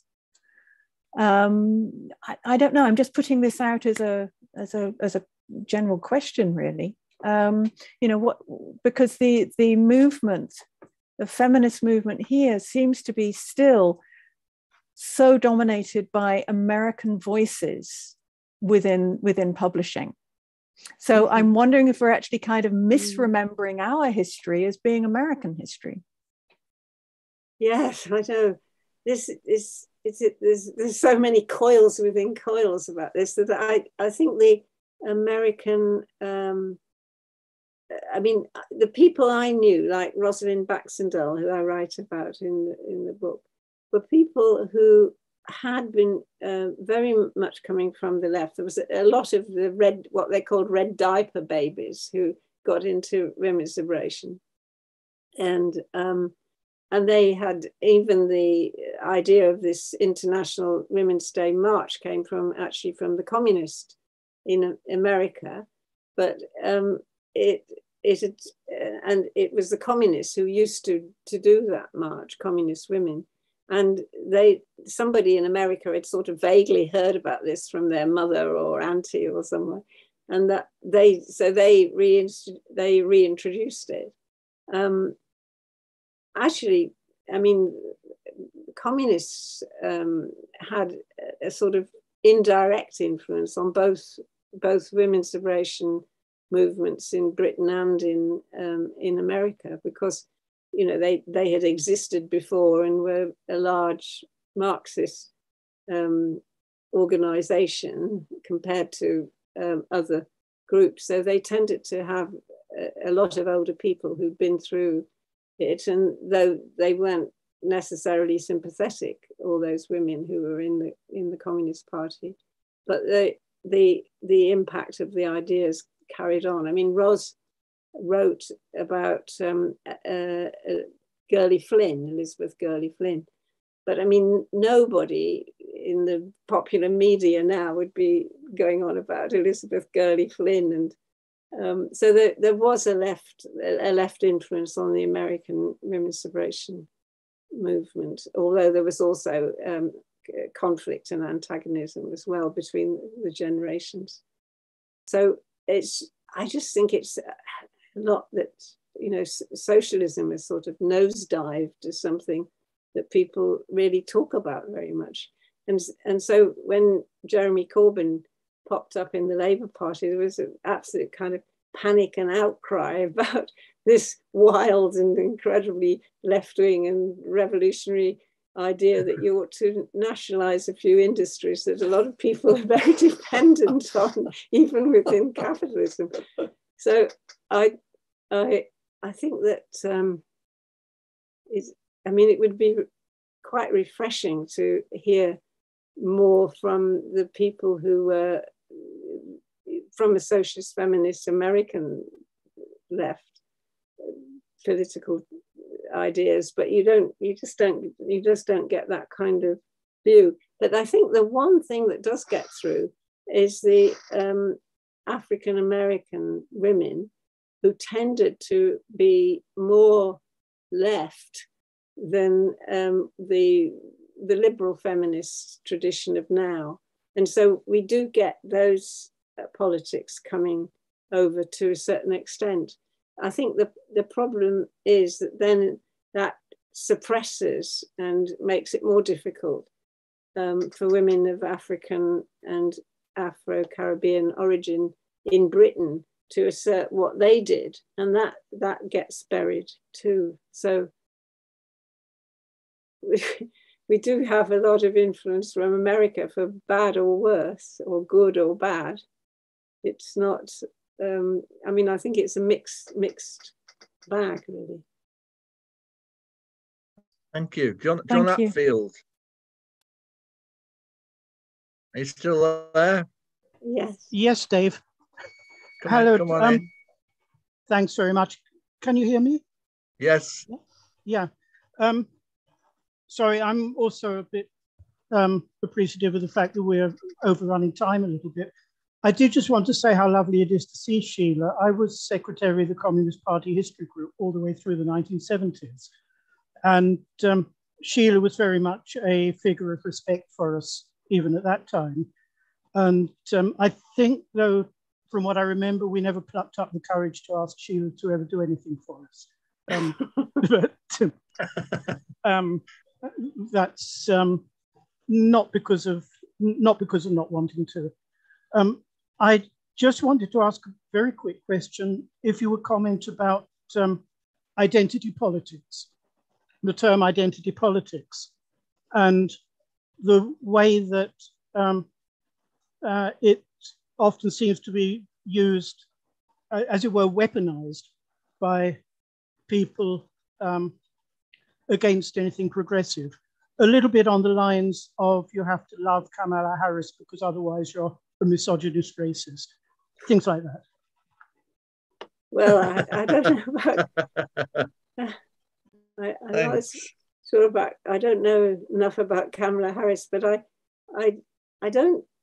I mean, I, I think for each every group that has a specific form of um, subordination, there's it's a bit it's a bit like the thing I was saying in uh, Edward Thompson's thing on um, education experience that the important thing is that you you have to assert things about your own identity and your own existence and being.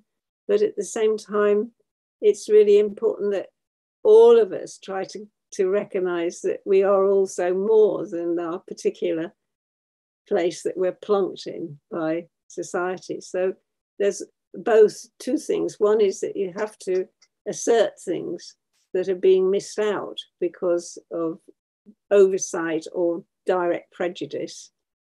And you also have to try to go beyond the situation that you happen to be in yourself personally, because otherwise there's there's no way in which you can get beyond argy bargying, I'm this or this or this, you know. And if you, I mean, as Edward said, really, if you stay within your category, like uh, I'm, you know, I'm just a worker, or I'm a woman, or I'm um, from a country that has been colonized. You've got a, a, you've got something that you're saying, but at the same time, there's also other things that you're you're never only just that. Does that make sense? Absolutely, yes. Yeah, that's uh, yeah, absolutely. Uh, yes. Thanks, John. Are you are you in a tube station? Um, no, it's my um, uh, Oh. back, background picture. I'm I'm actually I'm actually in Germany. Oh right. No- nowhere near Barons Court. I thought you were freezing out outside in a tube station. Very effective. Thank, thanks anyway, John. Lovely to Thank hear you. from you. Thanks a lot.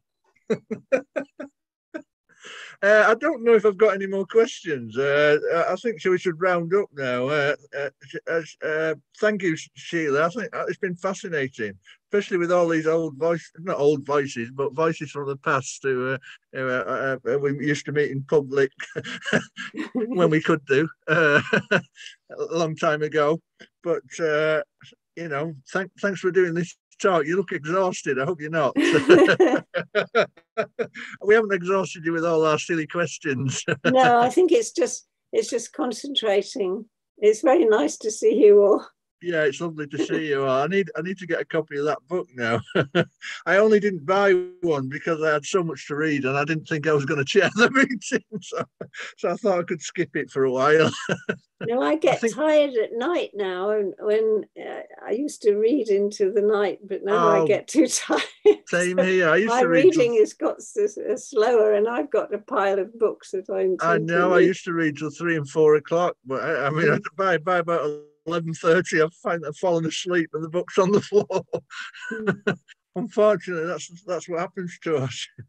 But anyway, that's fascinating, and I think I think unless there's any final urgent comments or questions anyone wants to make, I will I will express uh, uh, thanks for your for your uh, uh participation and for, for this uh, wonderful meeting, the first great launch for 2022 for the Socialist History Theatre. And good luck with the book. I'm sure it's going to be a bestseller. Well, it already is in the top. It's in the top 10 of the Verso publishing list. So that, that where, where could it we don't know what the sales of the other books are. Do they don't reveal the actual sales, you know, the important uh, questions. You'll know when you get the royalties, I imagine. but get your libraries to stock it if you don't, if you still have a library. I mean, I know uh, we, we, they're getting fewer and fewer. I don't know if it's an ebook as well. It probably is an ebook. I know. I got I got three pounds from public I mean, lending right, this time pounds to the year. That's, that's your whole book, your whole 20 odd volumes. oh my goodness, uh, I'm going to starve. I've only got one slim volume to my name. this really, I mean, this thing of the libraries is really terrible. Uh, the closing of libraries. Yeah, it's it's it's and the universities culling their stock as well. That's that's another uh, crime crime against intelligence, I think. Anyway, thanks to everyone, and uh, especially to you, Sheila, and keep keep keep you know keep keep writing and get these poetry published as well. You know, we want, what people want to read it out there. I've had two or three questions about the poetry. Anyway, uh, thanks to everyone for joining us. I'll draw the. Uh, unless you want some final words, uh, Sheila, to say a final message to the to the world. No. Go, go and have a cup of tea. That's what I'm going to go and have a do. Th- thanks very much. Th- thank you. Bye. Bye. Bye. I'll draw the meeting to a close. I think Steve's going to log us all off in a minute anyway. Mm-hmm. Yes? It stopped. The recording has stopped.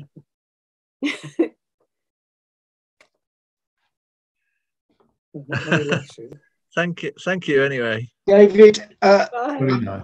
just Very nice. Lovely session. Well done, Lovely David. Session. Brilliant. Brilliant.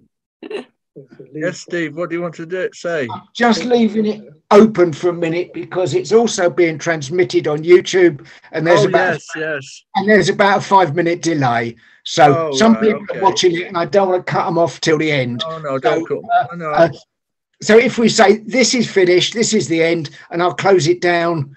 Formally, formally, it's actually over. Yeah. yeah, and, and then I, and I'll close it all down when it's uh, done. I've stopped recording. Thanks, thanks, everyone. Bye. Thanks, Sheila. That was, that was Thanks, lovely. Steve. Thank you. Sheila, Yeah, if you're still great. there, send me your email address.